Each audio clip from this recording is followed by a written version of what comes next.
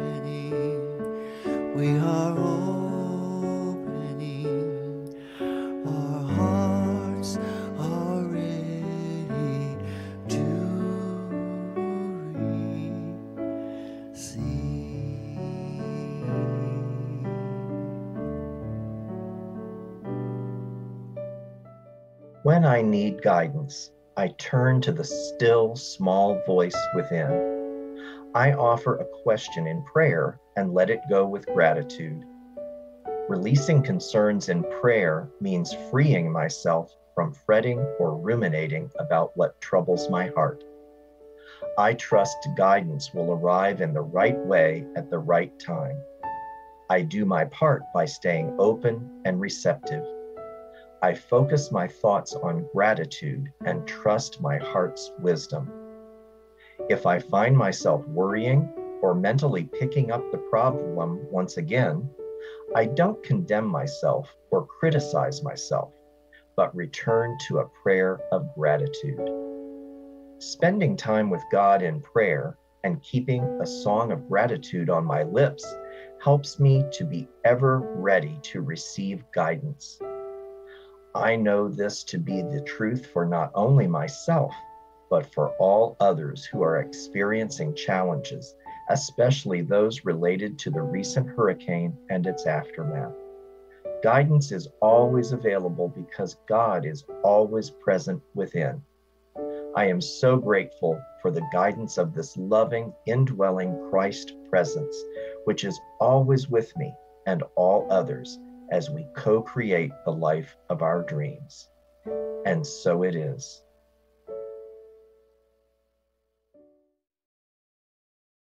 Our spiritual leader, Reverend Karen Wolfson, is blessing us this morning with part two of her message on your divine GPS entitled No Dead Ends.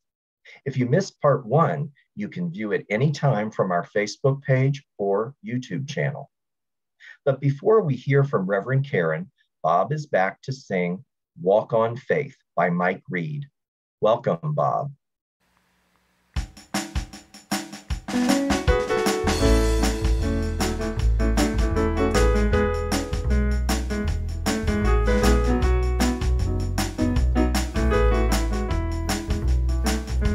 We have come to the place in our lives where faith must be stronger than fear.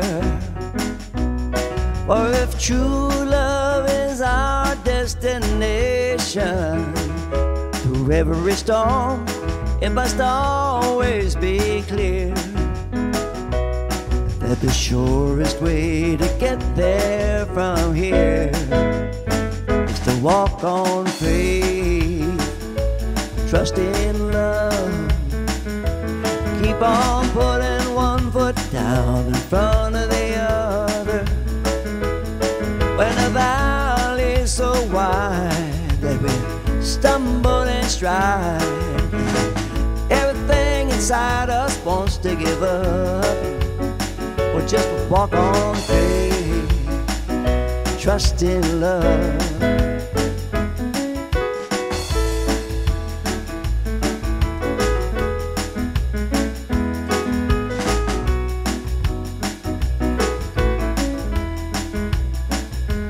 Farther on beyond the shadows of our doubt, we will live where true love never dies.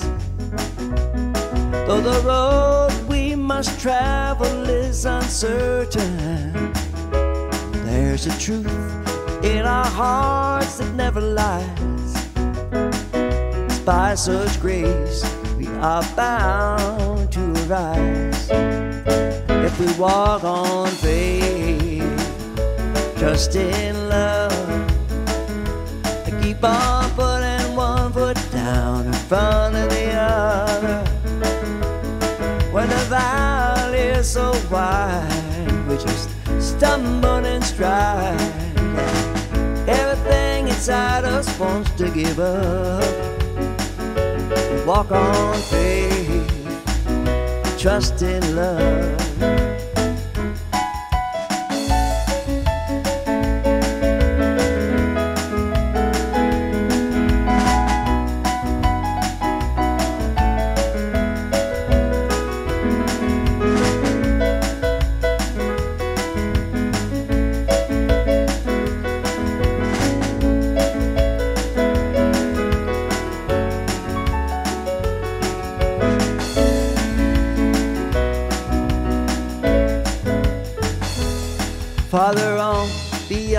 Shadows of our doubt, we will live where true love never dies.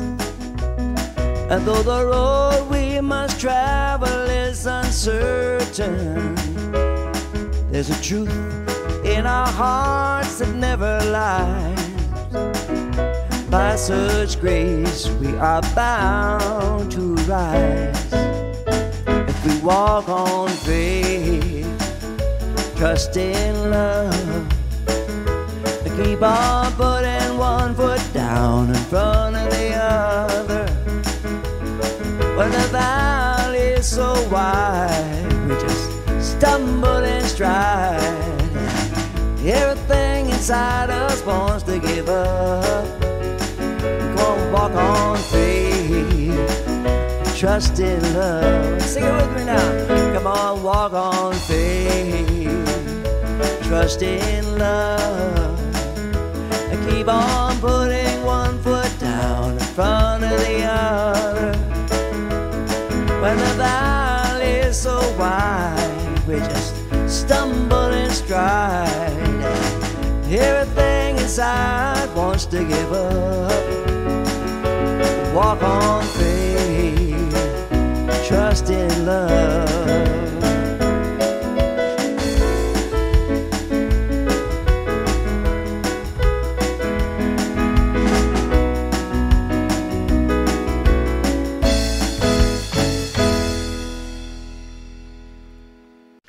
Hello, dear viewers.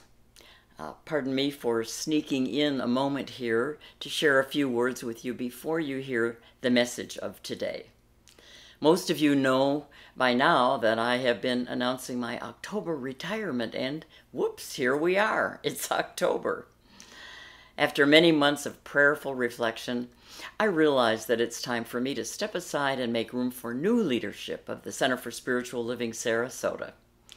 And you know, after these recent years of the pandemic, it's so evident that we are poised on the threshold of countless exciting possibilities. And so, as our spiritual community moves into this next phase of expression, I know that the perfect new leadership will manifest. Our incredibly skilled and loving leadership team will be providing you with more information, of course, as things unfold.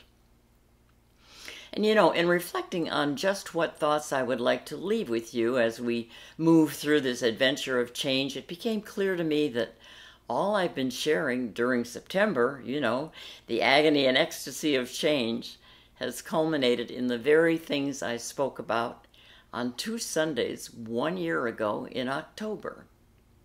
So, with the expertise of Ron Frost, who has, with amazing skill and loving care, been putting together these video services every Sunday since mid March 2020, we are broad- rebroadcasting for the next two Sundays two of those October 2021 services as reminders for you and for me to hold close as we step into the uncertainties and the immense possibilities before us. And for the remaining three Sunday broadcasts in October, you will be hearing and seeing some wonderful guest speakers. They know all about the experience of change, they have been there, and they're walking with you, our beloved spiritual community. Their messages for you will be filled with inspiration, encouragement, support, and guidance for this next phase of our journey. So stay tuned and stay connected for this adventure. You know, your presence makes it all possible. And thank you. Thank you for being in my life and in the life of our beloved Center for Spiritual Living Sarasota for all these years. Just know that I will carry you in my heart always. Namaste. Thank you, Bob. Love that song. Walk on faith, trust in love. When the valley's so wide we stumble and everything inside wants to give up, the surest way to get there from here is Um, not to have a magical new perfect roadmap, no, but the song says the way to get there from here is to walk on faith and trust in love. Walk on faith and trust. It's about those times when we feel as though we've come to a dead end. This could relate to a project, a task, an issue in some area of our living health, relationships, finances, creative expression, work. We've all been there. It seems we've exhausted all solutions, all avenues, and it appears that we're at a dead end. Well, I'm going to get right to the punchline, right to what I have for you today. There are no dead ends. There are no dead ends. Now, if you've been with us for these October Sundays, you know my theme for you is your divine GPS or your God positioning system. And today is about your divine GPS part 4 Find Another Way.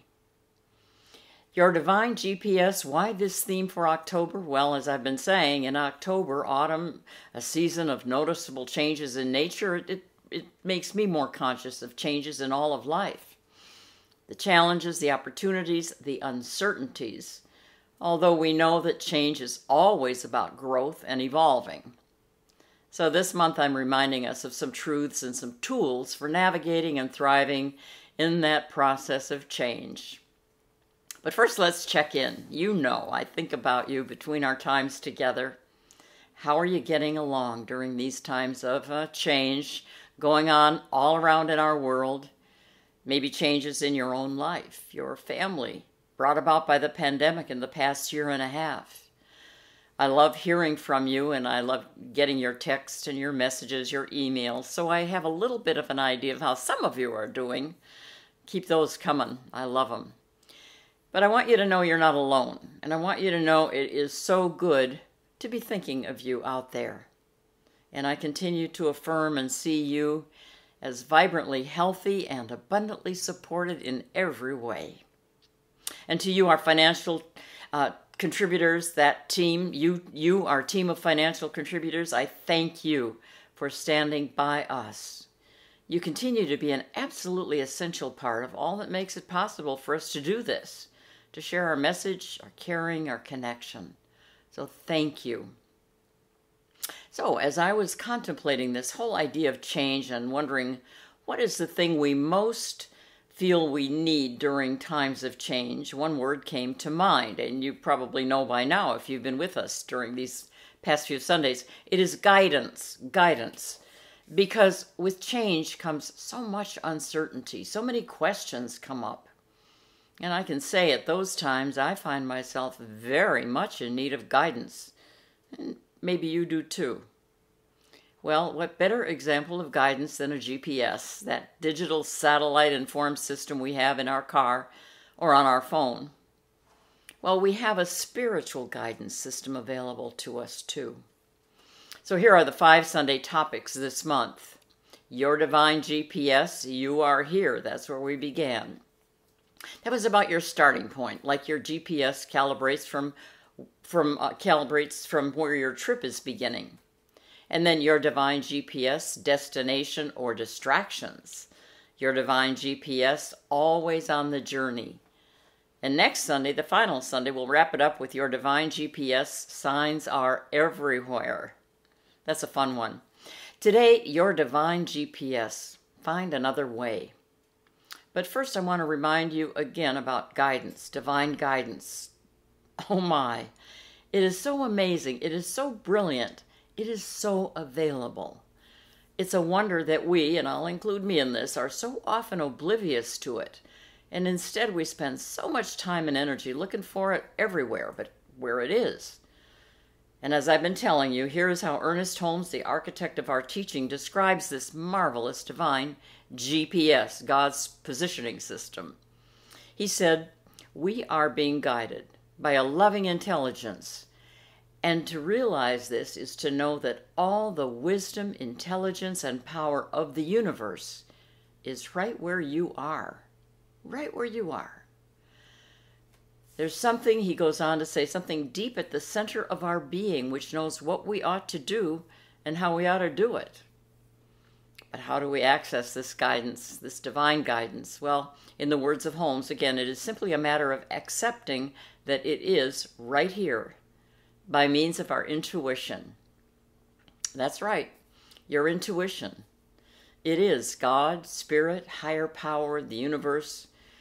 That is the invisible partner in our lives going before us, preparing the way, and we access it by means of our intuition. So, back to our example your car's GPS.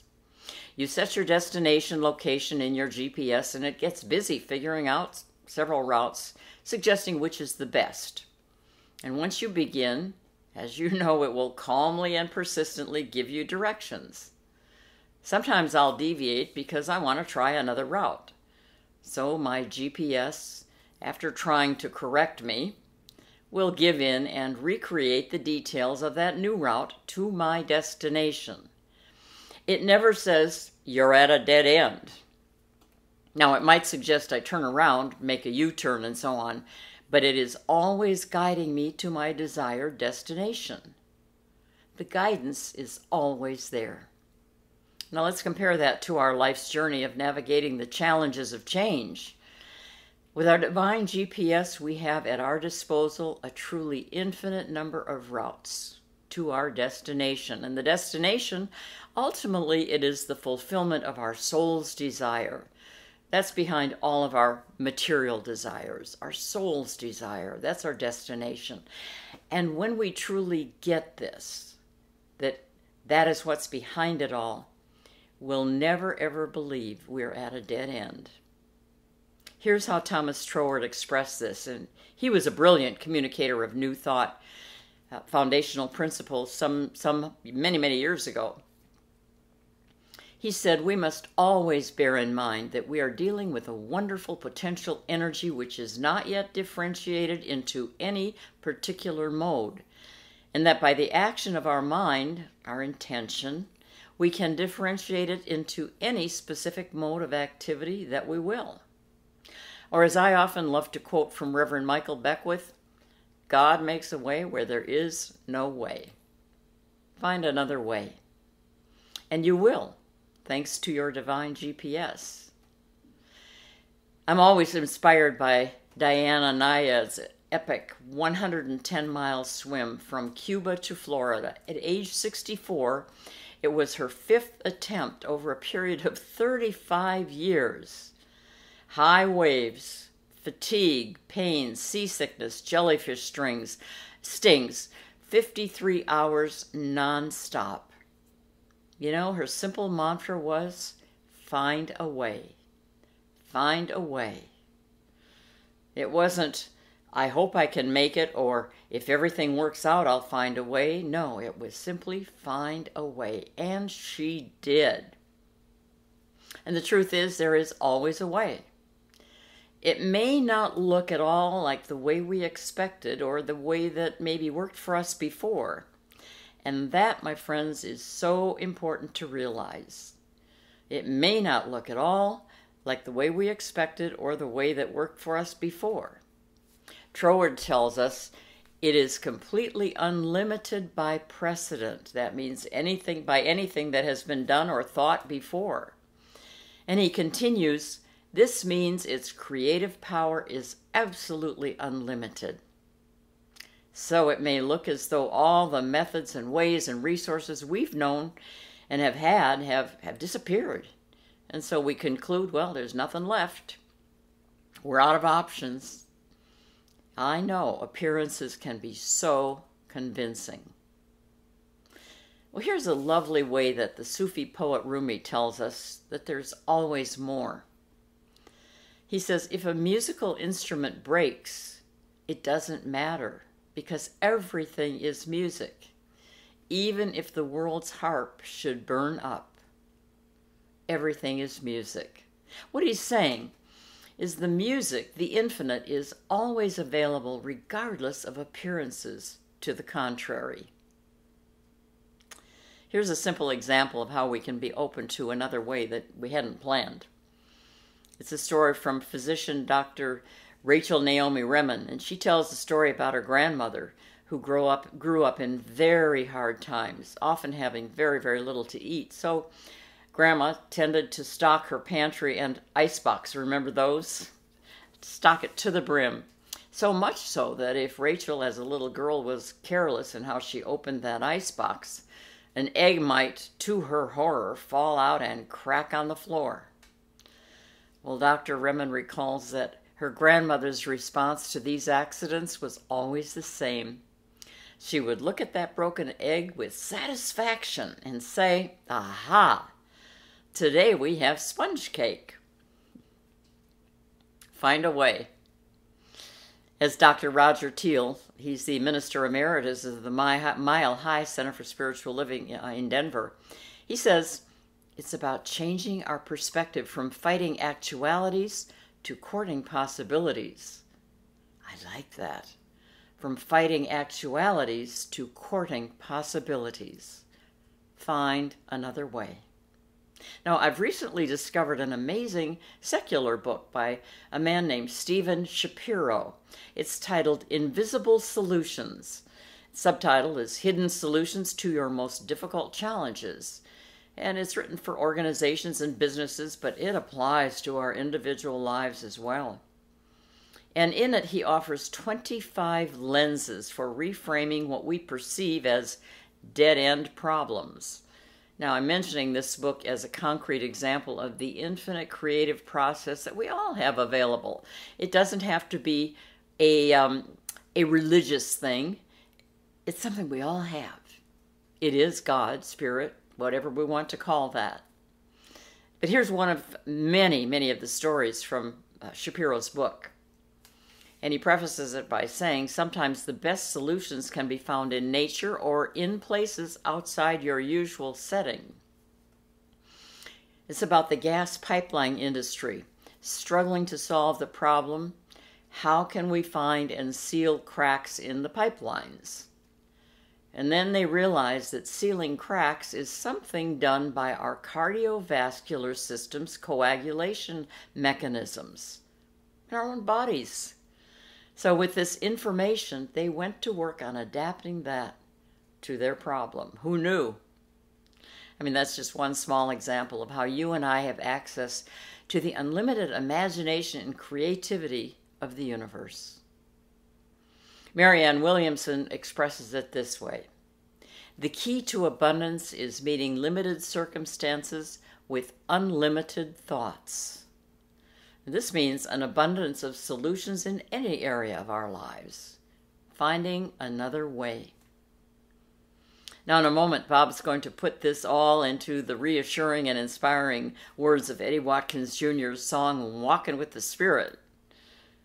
And that song says, When I find myself in one of those situations I don't know what to do and got no explanation, I go within and get plugged in. And ten times out of nine, things work out fine without my participation. I'm going to add, without my manipulation, interference, and limited thinking. And the song goes on to say, I put the Spirit in front of me to make the crooked places straight. I'm walking with the Spirit. And as the song says, sometimes we need to go within and get plugged in. And that reminds me of a story shared by a man named Dan Clark, and he was rock climbing. He says, While rock climbing, I could see an outcrop for my right foot, but no place where I could place my hands or my left foot. Well, my instructor said, Take the step anyway. And I said, Are you crazy? But he assured me, he said, once you lift yourself up, you may find something you can't see from where you're standing right now. and Dan replied, I was incredulous. I mean, what happens if I don't find anything? And then he said, My instructor calmly told me, fall back on the harness and try again. Fall back on the harness and try again. Go within and get plugged in. Fall back, as in let go of preconceived ideas of what's possible. It's a bit like the chant Bob sang earlier I am opening. I am opening. Find another way. Or perhaps let that amazing new way find you. And it will. As you go into your week, walking with the Spirit. Here we go with Bob, and I'll see you soon.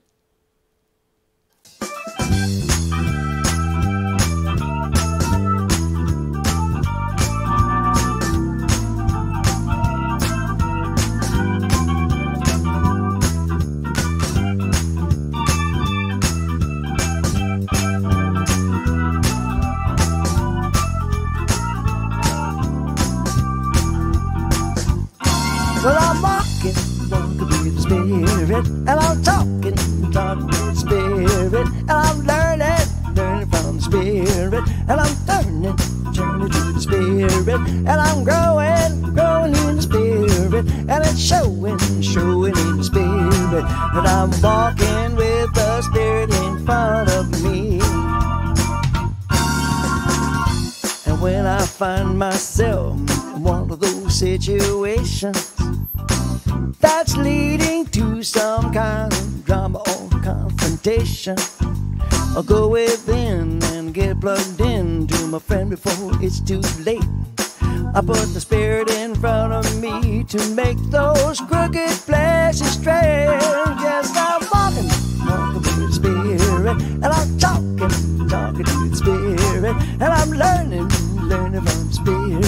and I'm turning, turning to the spirit, and I'm growing, growing in the spirit, and it's showing, showing in the spirit, cause I'm walking with the spirit in front of me.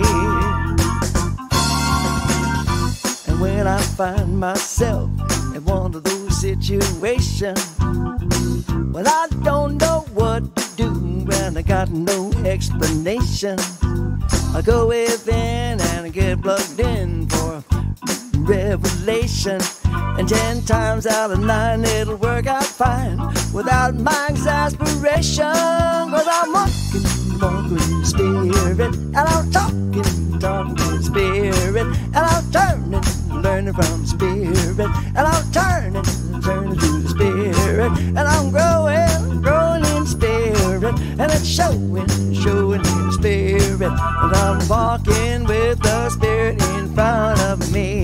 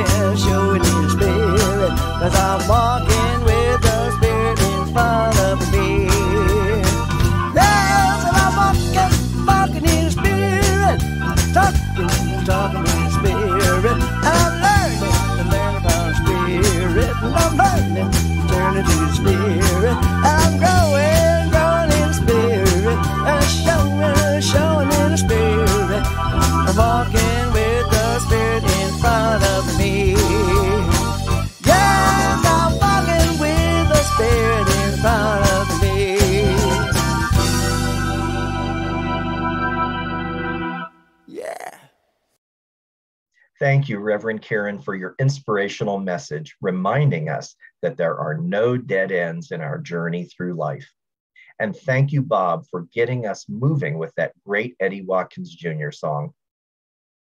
Now, as we move into our time of offering, I want you to know that we're so grateful for your generous financial support of this center that allows us to support you in so many ways.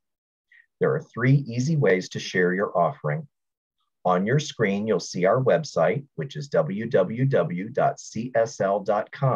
where you can select the donate button, which will bring up several options for making a contribution.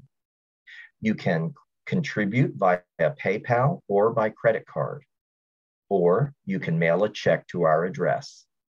You can also set up automatic contributions through your own online banking. Selecting the Donate Now button will open the PayPal window. And now I invite you to place your hand over your heart as you reflect on your gift, blessing it as you share it. And know this with me my gift goes forth to heal, to bless, and to prosper, and the divine flow returns it to me, multiplied abundantly. Now, please join me in our offering affirmation on your screen. I give thanks that I may share of my good, my love, and my support. Thank you so much. As I mentioned earlier, if you'd like prayer support, I'd like to draw your attention to the green prayer request button. We encourage you to use this feature to send us your request. Our five licensed spiritual practitioners, Kathleen Frankert, Ron Frost, Nicole Leeds, Sean Scanlon, and me, are available to know and affirm spiritual truth with and for you in whatever challenge you may be experiencing.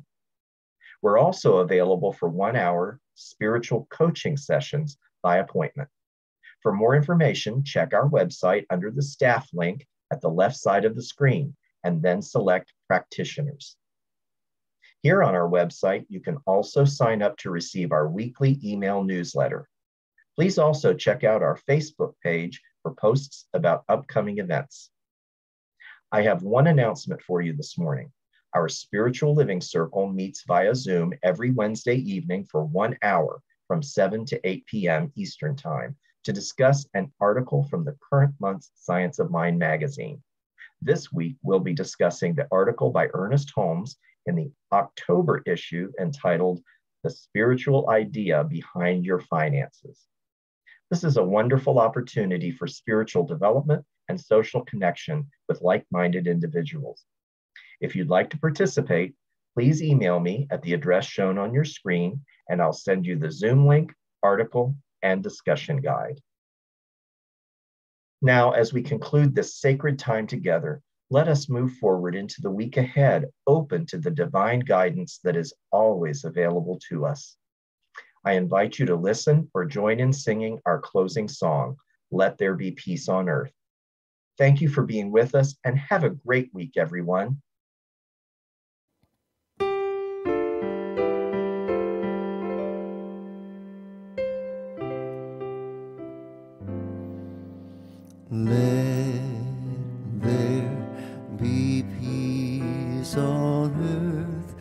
and let it begin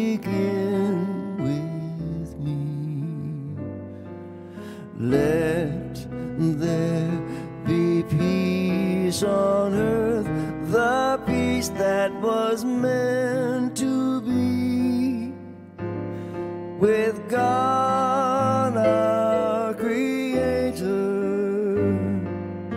We are family. Let us walk with each other